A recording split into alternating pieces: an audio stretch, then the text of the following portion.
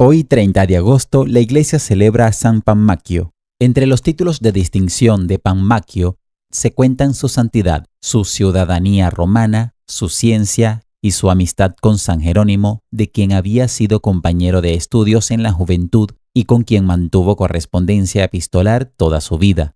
Panmaquio, que pertenecía a la familia de los Furios, era senador. El año 385 contrajo matrimonio con Paulina, la segunda hija de Santa Paula. Como se sabe, Santa Paula era también muy amiga de San Jerónimo. Probablemente Panmaquio fue uno de los cristianos que denunciaron ante el Papa San Ciricio a un cierto Joviniano, quien sostenía, entre otros errores, que todos los pecados son igualmente graves y merecen el mismo castigo.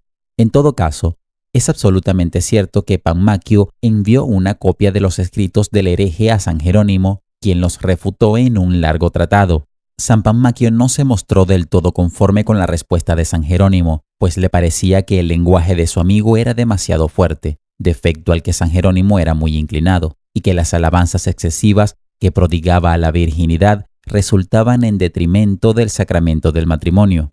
San Panmaquio comunicó su opinión a San Jerónimo, quien le contestó en dos cartas en las que le agradecía su interés y justificaba sus propias opiniones. Joviniano fue condenado en Roma por un sínodo y en Milán por San Ambrosio, y con ello cayó en la oscuridad. Algunos años más tarde, San Ambrosio escribió que había más bien vomitado que exhalado el último suspiro entre los pollos y los puercos. En 397 murió la esposa de San Panmaquio. Con ese motivo, San Paulino de Nola le escribió, Vuestra esposa es ahora vuestro abogado ante Jesucristo y vuestra garantía de salvación. Ella os obtendrá tantas bendiciones del cielo cuantos tesoros le habéis ofrecido vos en la tierra, ya que no os contentáis con llorarla inútilmente, sino que la hacéis participar de vuestros actos de caridad. Con vuestras virtudes honráis a vuestra esposa, y, cuando dais de comer a los pobres, le dais de comer a ella.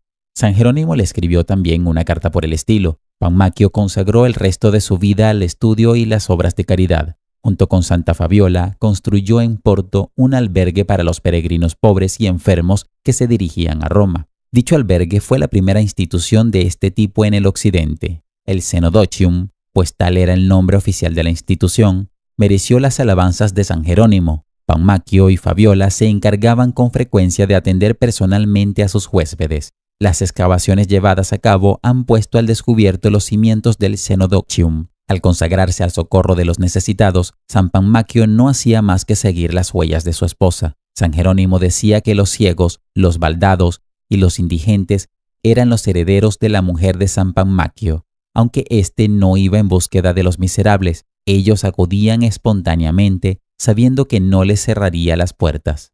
San Panmaquio sufrió mucho por la acritud de la controversia que San Jerónimo sostuvo con Rufino. Además de aconsejar a San Jerónimo que tradujese el Di Principis de Orígenes, le ayudó mucho en sus escritos controversisticos, aunque no consiguió moderar la violencia del lenguaje de la mayoría de ellos. El santo escribió también a las personas que vivían en sus posesiones de Numidia, exhortándolas a renunciar al cisma donatista y a volver al seno de la Iglesia. San Agustín de Hipona le dio por ello las gracias en una carta, el año 401. Panmaquio tenía una iglesia en su casa de la colina Coeli llamada Titulus Panmachi, en el sitio que ocupa actualmente la iglesia de San Juan y San Pablo de los Pasionistas. Las excavaciones han puesto al descubierto los restos de la casa original. San Panmaquio murió el año 410, cuando Alarico y los godos se apoderaron de Roma. Con frecuencia se dice que San Panmaquio era sacerdote, pero no parece que lo haya sido.